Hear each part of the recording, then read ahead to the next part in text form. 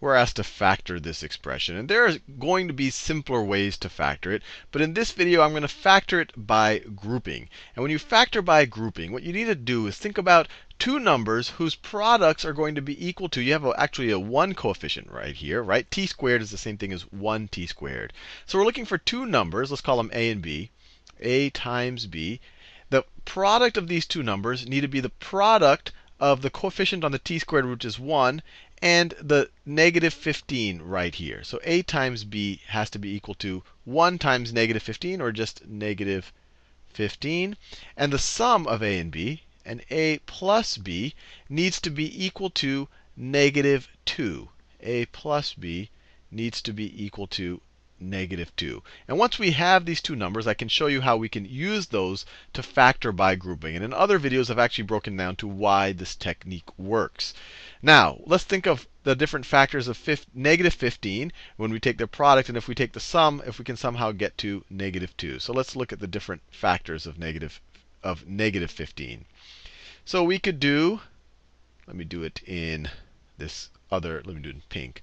So you have 1 and negative 15. These are, so everything I list here is going to, their product is going to be negative 15. But let's think about what happens when you take their sum. So 1 and negative 15, the sum is negative 14. And if you did negative 1 and, and 15, you're just going to get the negative of that. You're going to get 14. It does not equal negative 2. So what happens if you take, what happens if you take 3 and negative 5? So their product is definitely negative 15. 3 plus negative 5 is negative 2. So that works. And if we saw, if we tried negative 3 and 5 first, we would have gotten that to be positive 2. It's like, oh, we just have to swap the signs, and we would have gotten a negative 2. So these work. 3 and negative 5 work. 3 times negative 5 is negative 15. 3 plus negative 5 is negative 2. So what we want to do here is break this middle term up here. We know that 3 plus negative 5 is equal to negative 2.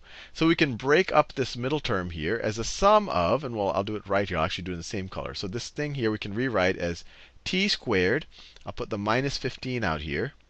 But the negative 2t we can rewrite as the sum of 3t we could write it here as plus 3t plus 3t minus 5t minus 5t.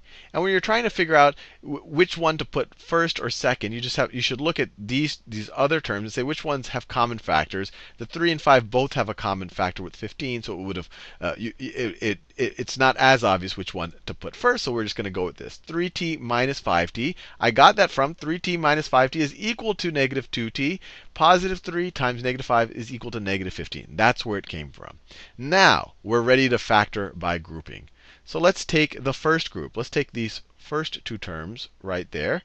And what's the common factor there?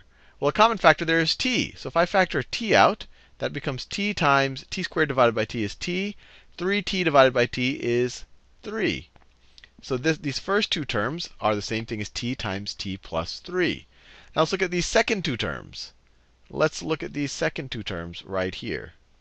What's a common factor? Well, they're both divisible by negative 5. So let's factor out a negative 5. Let's factor out a negative 5. And negative 5t divided by negative 5, or if you factor out the negative 5, you're just going to have a t there. And then negative 15, if you factor out a negative 5, if you divide negative 15 by negative 5, you're going to just have a positive 3. It's going to have a positive 3. And then notice, both, you now have two terms here, two products, and they both have the common factor they both have the common factor of t plus 3. So we can rewrite this right here as a product of t plus 3. We're undistributing the t plus 3. We're factoring out the t plus 3. t plus 3 times t, right? Because times t minus 5. Minus 5. And I want you to really make sure you feel good that these are really the same thing. If you take t times t plus 3 and factor out the t plus 3, you're just left with that t. If you take negative 5 times t plus 3 and you factor out the t plus 3, you're just left with that negative 5.